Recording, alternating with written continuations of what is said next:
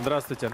Э, Вопрос э, по этапам. 14 и 15 этап, хотя бы ориентировочно, если это возможно. Э, Примерная их длительность и когда завершится 15 этап.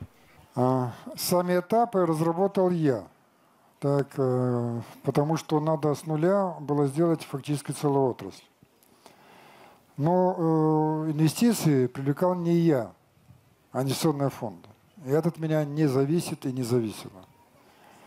Но вы знаете, что не все инвестиции до нас доходят. Есть реферальные выплаты, есть э, отъемы там, имущества в Литве и так далее, есть потери. И вот за то, что дошло до нас, мы сделали, видите, как много. И в этапах э, мы не знали, будут ли форс-мажоры. Они были и не раз, вы знаете. Та же Литва отбросила нас на, на два года. Но тем не менее, посмотрите, как мы много сделали. Даже вот в этих условиях, так?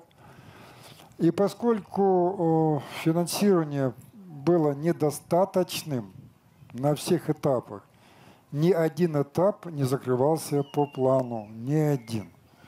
Просто нельзя было тянуть, ну что один этап тянуть там 10 лет, что ли. Поэтому все этапы были закрыты с недо, недофинансированием, что вы знали. А многие думают, о, уже там столько-то этапов закрыли, уже столько денег собрали. Да это не так. Так.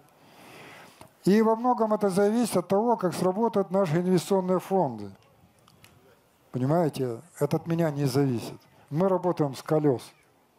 И делаем то, что мы можем делать сегодня, исходя от тех возможностей, которые у нас есть сегодня. Понимаете?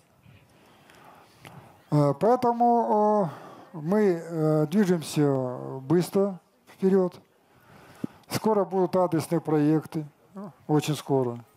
Скоро пойдут крупные инвестиции, очень скоро. Скоро заработает криптовалюта наша, хотя это часть другой программы. И очень скоро мы отстроим нормальное, серьезное финансирование. Скоро, я могу так сказать. Дату я назвать не могу. Тогда мы закроем все эти этапы.